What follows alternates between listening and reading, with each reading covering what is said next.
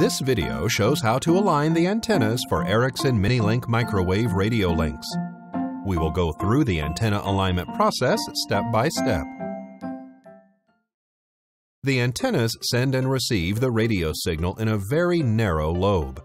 At most, the lobe is just a few degrees wide. To reach the planned link performance, it is therefore most important to carefully align the antennas to point directly toward each other.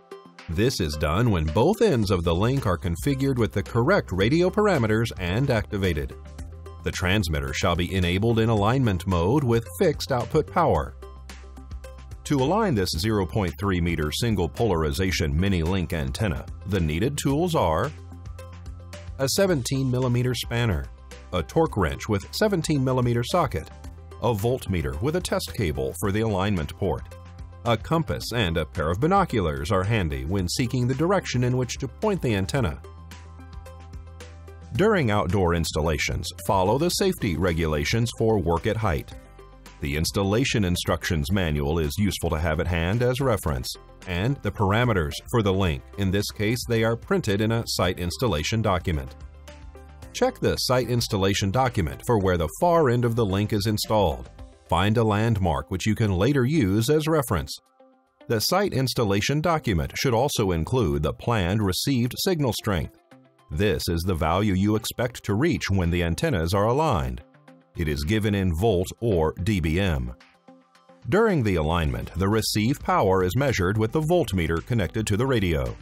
The installation instructions manual contains a conversion diagram between dBm receive power and measured DC voltage. Maximum voltage is approximately 2.5 volt DC. The antenna alignment is easiest and quickest if there is one engineer working at each end of the link, communicating with mobile phones or handheld radios. Use the landmark you found to check that the antenna is pointing approximately towards the far end.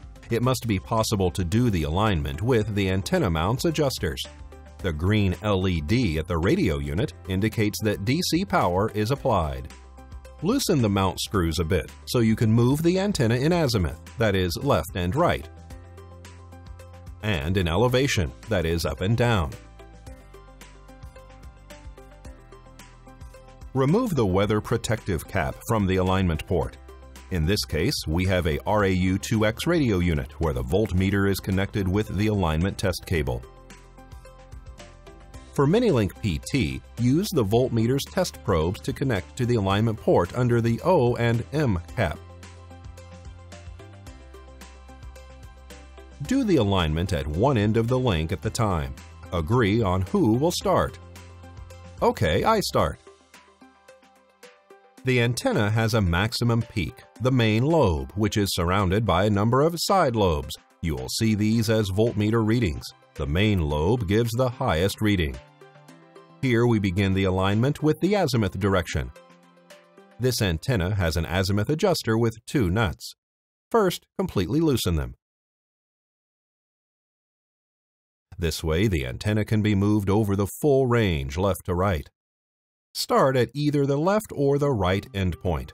Turn the antenna slowly all the way to the other endpoint while closely observing the voltmeter. It is important to find the maximum voltage, the main lobe. Remember the maximum reading and the approximate direction in which you found it. Turn the antenna slowly back until you find the main lobe again. Tighten the two azimuth adjuster nuts to prevent the antenna from moving away from the found azimuth direction. Repeat the process for the antenna elevation. Also in this direction, the main lobe is surrounded by side lobes.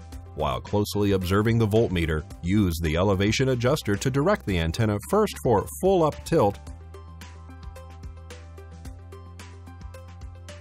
then for full down tilt. And finally back to where you found the maximum voltmeter reading, the main lobe. When you have found the main lobe in both azimuth and elevation, you can hand over to the far end to do the same.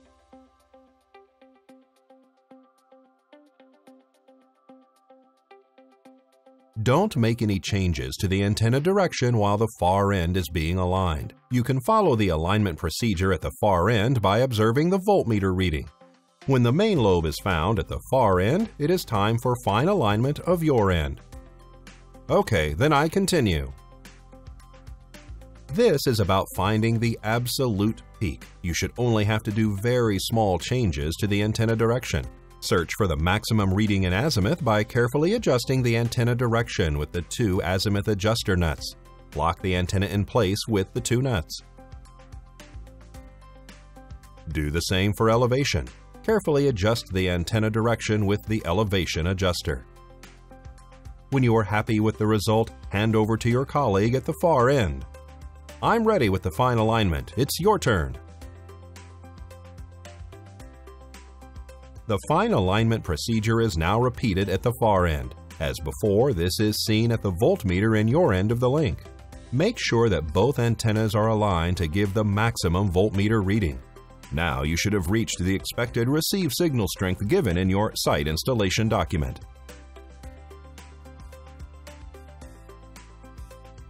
Tighten all the screws using a torque wrench. Make sure the antenna doesn't move while tightening the screws. Have the voltmeter connected and check that the reading does not change. It is a good idea to tighten the screws at one end at a time. This way you know which antenna has moved if you see the voltmeter reading change. Also, tighten the azimuth adjuster nuts. When finished, disconnect the voltmeter. Put the weather protective cap in place.